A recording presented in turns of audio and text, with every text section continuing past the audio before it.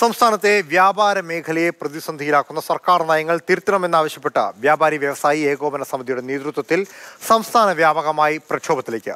അടുത്ത മാസം പതിമൂന്നിന് കേരളത്തിലൊട്ടാകെ കടകൾ അടച്ച് പ്രതിഷേധിക്കണമെന്ന് കേരള വ്യാപാരി വ്യവസായി ഏകോപന സമിതിയുടെ പ്രസിഡന്റ് രാജു അപ്സര പറഞ്ഞു.